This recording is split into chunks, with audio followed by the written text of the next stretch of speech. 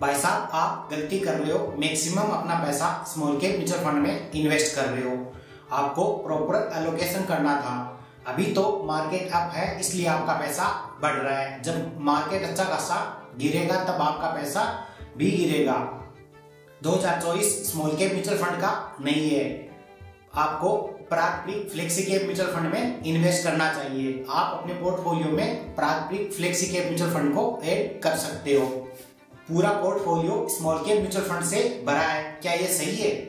Your portfolio is not proper diversified you invested maximum amount in small cap mutual fund. इस प्रकार के जो comment है last video जो हमने अपने पोर्टफोलियो पे बनाया, उस पे आए हैं। बहुत ही अच्छे कमेंट किए हैं। ऐसे कमेंट से हमें काफ़ी कुछ सीखने को मिलता है। नमस्कार सर, कैसे हो आप? आशा करते हैं आप अच्छे होंगे। आज की वीडियो में हम जानेंगे मैं मैक्सिमम अपना पैसा स्मॉल कैप म्यूचुअल फंड में क्यों इन्वेस्ट करता हूँ?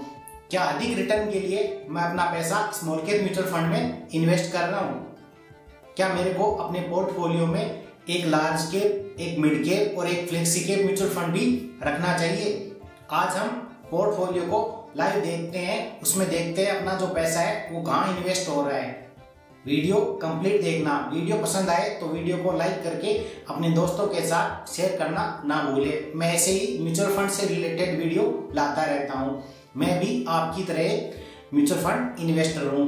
आप किसी भी प्रकार का इन्वेस्टमेंट लेने से पहले अपने फाइनेंशियल एडवाइजर से सलाह ज़रूर ले या खुद रिसर्च करके अपना पैसा इन्वेस्ट करें।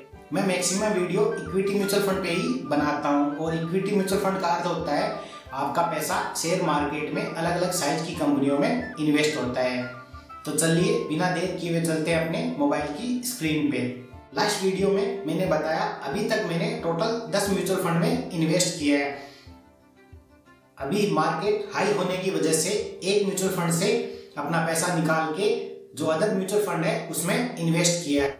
मेरा ये सेट इमर्जिंग फंड है, उसके अंदर हमारे पचास हज़ार रुपए इन्वेस्ट थे। उनको मैंने रिडीम करके जो अदर म्यूचुअल फंड है मेरे पोर्टफोलियो में, उनमें इन्वेस्ट किया। अभी आपको स्क्रीन पे दिखाई दे रहा होगा, मेरे पोर्टफोलियो में नो म्यूचुअल फंड है। नो म्यूचुअल फंड में मेरा पैसा इन्वेस्ट हो रखा है। मेरा जो पोर्टफोलियो है, उसमें maximum small cap mutual fund ही है। S B I small cap fund direct growth H D F C small cap fund direct growth S B I flexi cap fund direct growth quant small cap fund direct growth केंद्र को small cap Nippon India small cap PGIM India small cap Nippon India tax saver fund Axis small cap fund इस प्रकार मेरे portfolio में total no fund है। मैं अपने portfolio में थोड़ा बहुत चेंज करता रहता हूँ। मैक्सिमम अमाउंट में एस के द्वारा ही इन्वेस्ट करता हूँ। अभी मैं ग्रो एप्लीकेशन के द्वारा अपना पैसा एसआईपी के द्वारा इन्वेस्ट कर रहा हूँ। ग्रो एप्लीकेशन में पोर्टफोलियो एनालिसिस करके एक टेप दिखाई दे रही है। उस पर आपको क्लिक करना है। क्लिक करने के बाद आपको अपने पोर्टफोलियो का ग्राफ दिखाई देगा। जैसे आप थोड़ा सा नीचे स्क्रॉल करोगे, स्क्रॉल करने पे आपको दिखाई दे रहा है इक्विटी असेट एलोकेशन। इसके अंदर तीन इंटरफेस आपको दिखाई दे रहे हैं, सेक्टर्स, मार्केट कैप और कंपनीज़। सेक्टर के अंदर आपका पैसा कौन कौन से सेक्टर में कितना परसेंट इन्वेस्ट हो रखा है, वो आपको दिखाई दे रहा होगा। अभी जो आपको स्क्रीन पे एलोकेशन दिखाई दे रहा है, ये पूरे पोर्टफोलियो का है। एक म्यूचुअल फंड का नहीं है। सर्विस के अंदर 16 परसेंट के लगभग पैसा इन्वेस्ट हो रखा है। फाइनेंशियल के अंदर 16 परसेंट कैपिटल गुड्स के अंदर 10 परसेंट के आसपास कंज्यूमर स्टेबल्स के अंदर 8 परसेंट, इसके साथ ही कंस्ट्रक्शन के अंदर 7 परसेंट। नीचे आप आल सेक्टर है, उस पर क्लिक करके आप देख सकते हो आपका पैसा कौन से सेक्टर में कितना परसेंट इन्वेस्ट हो रहा है? मार्केट कैप टैब पे क्लिक करने पे मिड कैप स्मॉल कैप और लार्ज कैप आप स्क्रीन पे देख पा रहे होंगे। मिड कैप में 50 परसेंट स्मॉल कैप में 31 परसेंट लार्ज कैप में 18 परसेंट ये जो आपको अलग अलग डिवाइड करके दिखाई दे रहा है, मेरा जो पैसा है, वो अलग अलग साइज़ की कंपनी में इन्वेस्ट हो रहा है।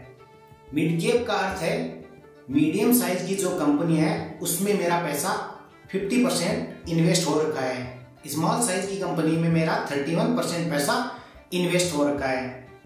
लार्ज साइज़ की जो कंपनी है, उसमें 18 परसेंट पैसा इन्वेस्ट हो रखा है। अभी तक मेरे पोर्टफोलियो में जितना भी पैसा इन्वेस्ट हो रखा है, उसका ये अलोकेशन है अलग अलग साइज़ की कंपनियों में। आपने स्क्रीन पे देखा मिड केप का अर्थ है मीडियम साइज़ की कंपनियाँ। जिन कंपनियों का फंड साइज़ पाँच हज़ार करोड़ से बीस हज़ार करोड़ के बीच रहता है, उन कंपनियों को मिड केप कंपनियाँ बोला जाता है। जिन कंपनियों का मार्केट केप पाँच हज़ार करोड़ से नीचे है, उन कंपनियों को स्मॉल केप कंपनियाँ बोला जाता है। लार्ज केप कंपनियाँ वो होती है जिसका मार्केट केप बीस हज़ार करोड़ से अधिक होता है। तो मेरा जो इन्वेस्टमेंट है मैक्सिमम मिड केप कंपनियों में हो रहा है। स्मॉल केप म्यूचुअल फंड में इन्वेस्ट करने से स्मॉल साइज़ की कंपनी में इन्वेस्ट होता है, ऐसा नहीं है।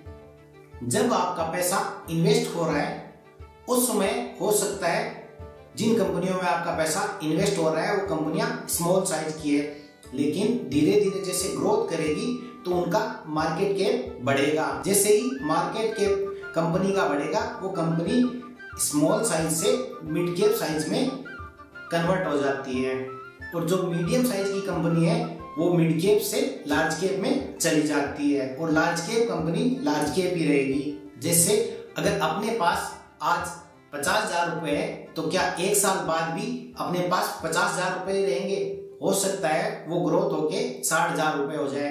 इसी प्रकार जब आपका पैसा इन्वेस्ट हो रहा है, उस समय कंपनी की साइज़ स्मॉल कैप है, लेकिन धीरे धीरे वो कंपनी अपनी सर्विसेज़ प्रोवाइड करवा के ग्रोथ करती है। कोई भी कंपनी अगर मार्केट में आती है तो वो चाहती है अपनी ग्रोथ हो। वो अपने अच्छे से अच्छे प्रोडक्ट लॉन्च करती है। कस्टमर उनको यूज़ करते हैं। जितने ज़्यादा कस्टमर किसी कंपनी के प्रोडक्ट यूज़ करेंगे तो उस कंपनी के प्रोडक्ट ज़्यादा सेल होंगे, ज़्यादा सेल होने से उस कंपनी की ग्रोथ बढ़ेगी। ग्रोथ होने पे वो कंपनी स्मॉल साइज़ की है धीरे धीरे ग्रोथ होने के बाद वो मीडियम कंपनी बन जाती है। आगे जाके वो लॉन्ग टर्म में लार्ज साइज़ की कंपनी भी बन जाती है। तो आपको आज की वीडियो में समझ आया होगा, मेरा पैसा मैक्सिमम इन्वेस्टमेंट मिड कैप कंपनियों में हो रहा है। तो मैं क्यों मिड कैप और फ्लेक्सी कैप और लार्ज कैप म्यूचुअल फंड में इन्वेस्ट करूँ? जब मेरा पैसा ही मिड कैप कंपनियों में इन्वेस्ट हो रहा है तो मेरी रिस्क भी मीडियम साइज़ की है और मेरे को जो रिटर्न मिल रहा है, वो भी अच्छा मिल रहा है। लॉन्ग टर्म के लिए इन्वेस्ट करोगे तो आपकी रिस्क जैसे जैसे आप इन्वेस्ट करोगे, धीरे धीरे कम होती रहेगी। आप इन्वेस्टमेंट को समझो। जब आप समझ के इन्वेस्ट करोगे तो आपका दो से तीन परसेंट रिटर्न ऑटोमेटिकली बढ़ जाएगा। आप बिना समझे किसी भी म्यूचुअल फंड में इन्वेस्ट करोगे तो आपको हो सकता है किसी में दस परसेंट रिटर्न मिले, किसी में पंद्रह मिले, किसी में तीस परसेंट भी मिल सकता है। आपको समझना है म्यूचुअल फंड को, आपका पैसा इन्वेस्ट कहाँ हो रहा है, वो कंपनियाँ क्या काम करती है? आपको ये समझना है, आपका पैसा कहाँ इन्वेस्ट हो रहा है कौन सी कंपनी में हो रहा है, किस साइज़ की कंपनी में हो रहा है, वो कंपनी किस प्रोडक्ट का निर्माण कर रही है, उस प्रोडक्ट को आप यूज़ कर रहे हो या नहीं। आप अगर यूज़ कर रहे हो तो आपको समझ आएगा आपका पैसा जहाँ इन्वेस्ट हो रहा है, वो कंपनी अच्छा प्रोडक्ट का निर्माण कर रही है। इसके बाद तीसरी जो इंटरफेस है, उसमें आप देख सकते हो कंपनीज़ लिखा हुआ है। उसको आप चेक कर सकते हो कौन सी कंपनी में आपका कितना परसेंट पैसा इन्वेस्ट हो रहा है। अलग अलग साइज़ की कंपनी में आपका पैसा इन्वेस्ट हो रहा है। Reliance Industry Blue Star ICICI Bank Carborundum Universal B Inox इस प्रकार ये जो टॉप की कंपनी है, उसमें हमारा मैक्सिमम पैसा इन्वेस्ट हो रहा है। ये जो होल्डिंग है, ये धीरे धीरे चेंज होती रहती है। फिक्स नहीं है कि रिलायंस में सबसे ज़्यादा इन्वेस्ट हो रहा है तो आगे जाके भी रिलायंस में ज़्यादा होगा। यहाँ पे आप अपने टोटल पोर्टफोलियो की होल्डिंग चेक कर सकते हो, कौन सी कंपनी में कितना परसेंट पैसा आपका इन्वेस्ट हो रहा है। तो आप यहाँ पे चेक करते रहिए, आपका पैसा कहाँ इन्वेस्ट हो रहा है। इस कंपनी का कौन सा प्रोडक्ट आप यूज़ कर रहे हो? आपका कितना परसेंट पैसा इस कंपनी में इन्वेस्ट हो रहा है? इस कंपनी की ग्रोथ क्या है? थोड़ा बहुत भी आप अगर म्यूचुअल फंड को समझ के इन्वेस्ट करोगे तो आराम से 15 से 20 परसेंट का रिटर्न प्राप्त कर सकते हो। आशा करता हूँ आज की वीडियो आपको पसंद आई होगी। वीडियो पसंद आए तो वीडियो को लाइक करके अपने दोस्तों के साथ शेयर ज़रूर करें। कंटिन्यू एसआईपी के द्वारा इन्वेस्ट करते रहिए, मस्त रहिए। जय हिंद, जय भारत।